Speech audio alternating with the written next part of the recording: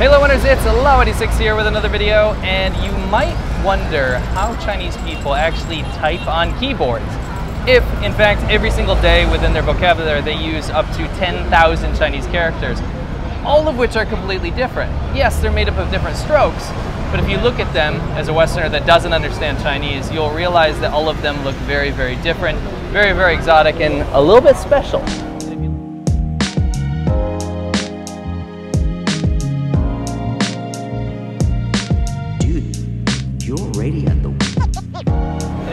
Me, you'll see Chinese characters everywhere.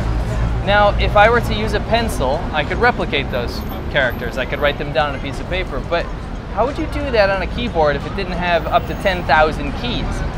English words are very, very simple, just a combination of letters.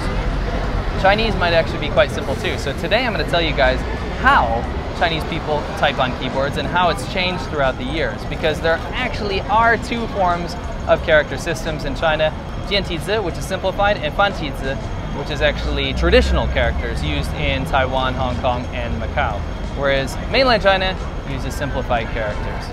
Now, Chinese characters look daunting and impossible to understand if you've never studied them, but let me give you a quick and easy rundown on how they're made up with one easy example. Just like when you write the letter D, there are two basic strokes that you make with your pen. We can say the letter D is comprised of two strokes. The character Ren, which means person, kind of looks like a little dude, doesn't it? Also contains two strokes. The only difference is that the letter D doesn't mean anything by itself, whereas Ren is an entire word.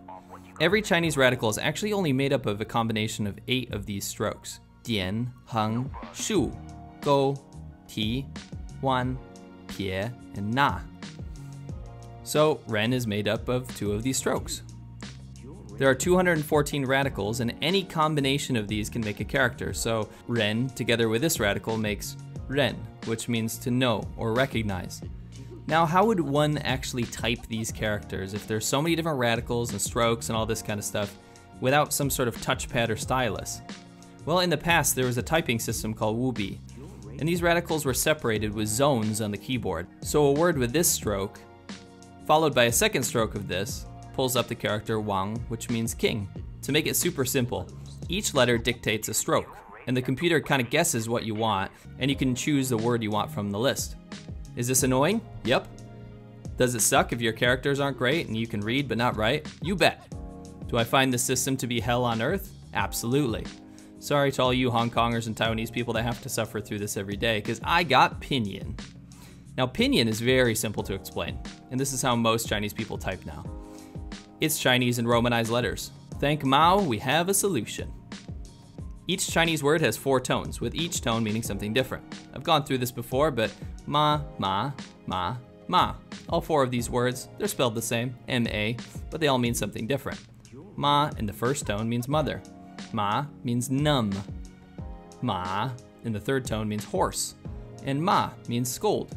See that little mark above the A in each word? That's the tone.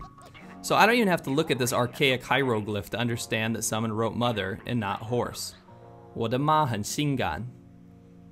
我的马很性感. I guess that's bad either way. Anyway, with Pinyin, you just need to learn how Chinese words are spelt, and you can type them in, and bam, Google gives you a list of characters to choose from.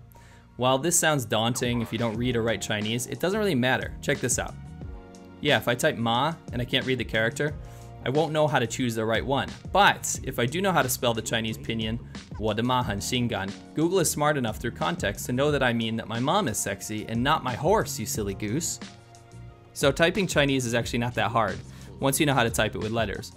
The problem with this is that people in China are forgetting how to write with a pen, or forgetting what some characters even look like. The whole system works the same on cell phones actually, but it was kind of difficult back in the day because to actually take handwriting into account it was difficult because phones didn't have the processing power to be able to make that happen. So Motorola in 2006 had a Ming phone, M-I-N-G, and that was the first phone that allowed people to simply write the characters on the screen of the stylus. The amount of processing power required to turn touchscreen strokes into the actual characters was too great for other phones at the time.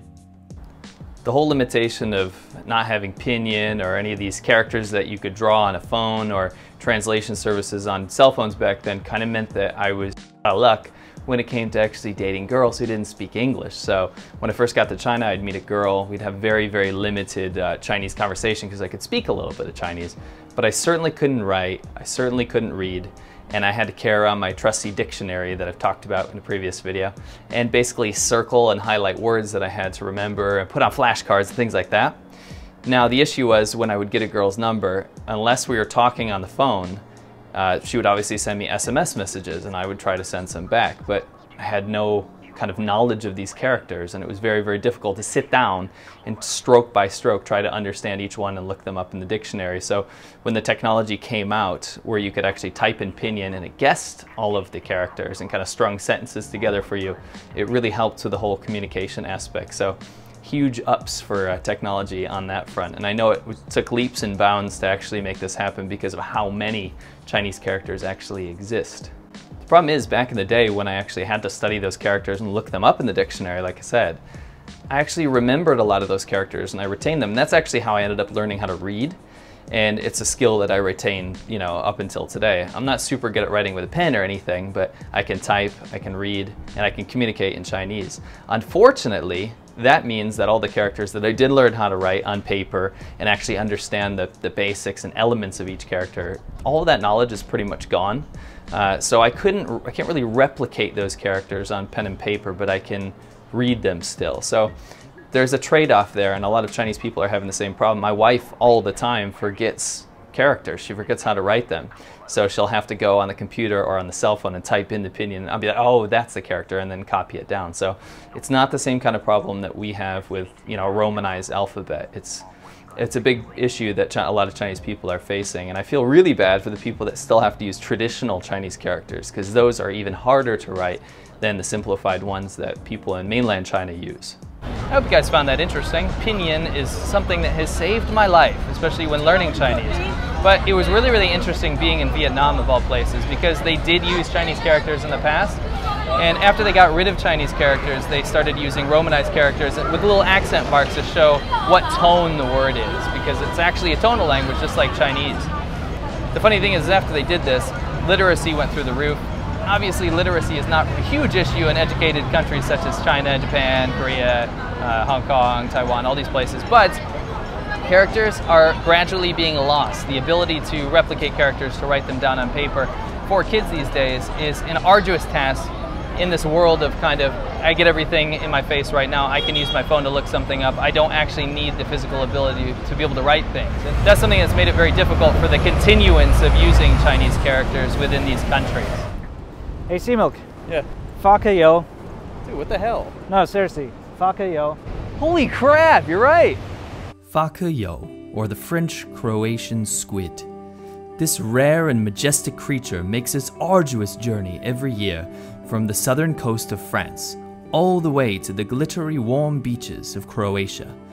For the very few lucky people who have been graced by its spectacular presence, they have described a deep feeling of peace fortune, and well being.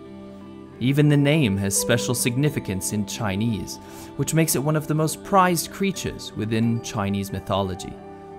Ancient Chinese, all the way through modern times, have used its name as a mantra to express a wide variety of emotions. Fa ke you. Fa ke you. Fa ke you.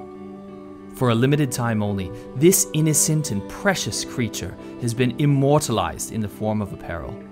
This rare shirt is available for two weeks only, and in order to be blessed with the fortune and luck that only Fa Ke can give, head over to everpress.com slash laowhy86 before it slips away. That's right, there's got the tentacles. Oh, don't worry, definitely not our dinner. Just squid. Squid! Returning them back to the ocean. Yeah. That's okay. If you want to eat it, it's frozen. You won't like that. Uh, uh, uh, uh, you won't enjoy it. You won't enjoy it. Trust me. It's frozen. That one's frozen too. You're not gonna, you're not gonna like it. Off you go. Yeah. Oops. Hope you enjoyed the video, guys. If you did, don't forget to hit like. Go downstairs, down below. Tell me actually how you thought Chinese people typed on uh, keyboards. If you're Chinese, you obviously already know that. If you want to see more stuff behind the scenes, don't forget patreon.com slash laowhy86. Your chance to vote on topics, talk to me directly, and all the behind the scenes stuff that me and Winston do on Laowhy86, ADV China, and all that good stuff. Don't forget every single Wednesday down below, click here for another Laowhy86 video at 1 p.m. EST. ADV China up here, motorcycle talk show on two wheels, usually covering you know societal aspects and topics surrounding China. You can watch at 1 p.m. EST as well. And down below, don't forget you can watch Serpents Today just in time for a beer every single Friday at 1 p.m. EST. Thanks. Yeah, I know you. Yeah? Yeah, watch you. Nice, nice. Yeah, yeah, yeah. Just doing some filming. You're already at the wedding. The deal is closed.